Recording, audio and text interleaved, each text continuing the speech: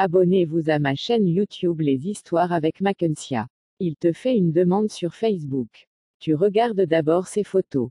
Il conduit une Mercedes CLS. Tu confirmes, il t'écrit en inbox. Tu réponds tout excité. Vous voulez vous rencontrer. Vous fixez un RDV. Tu t'habilles, sans caleçon. Un bon parfum. Tu te maquilles. Une bonne haleine et un nouveau tissage. Il t'offre un dîner au Resta au réservoir. Il t'offre à boire dans une boîte de nuit de la place. Vous passez un bon temps. Il te tient la main, te fait rire, te donne du sourire. Tu tombes sous son charme. Coup de foudre. C'est comme si tu le connaissais déjà depuis. Vous allez dans son appartement. Il te met à l'aise et t'allonge sur son lit. T'embrasse passionnément. Tu aimes son agression, sa force, son énergie et tu te laisses aller. C'est trop bon. Tu sais que c'est mal mais tu es déjà tout excité. Tu lui demandes de se protéger, il répond c'est trop tard. Tu obéis et tu ne te déranges pas. Il dit qu'il t'aime, et tu n'hésites pas à dire que tu l'aimes aussi. Puis il va à la cuisine pour te rapporter un verre de jus d'orange.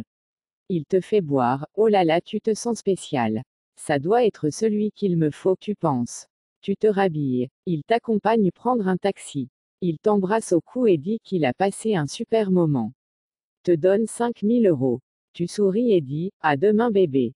Il reste silencieux. Ton taxi s'en va. Étant dans le taxi, tu ne peux pas arrêter de sourire. Arrivé à la maison, tu lui envoies un message que t'es arrivé chez toi sans souci.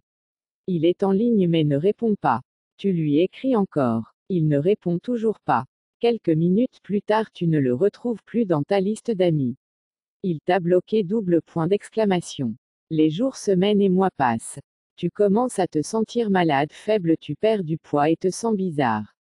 Tu vas à l'hôpital, fais des examens. Minutes plus tard, le docteur te dit désolé. Vous êtes séropositive et enceinte. Quoi Tu ne comprends pas? La réalité t'a rattrapé et te bouleverse.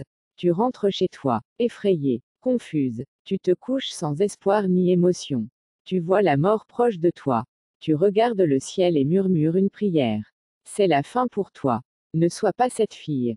Marche dans la droiture. Arrête de courir après le faire voir. Ta vie n'a pas de prix. Tu n'es pas maudite mais tu n'es juste pas patiente des plans que Dieu a tracés pour toi. Ne te compare à personne, tu n'es pas en compétition avec quelqu'un. Sois heureuse et contente-toi de ce que tu as. C'est demain qui dira la vérité.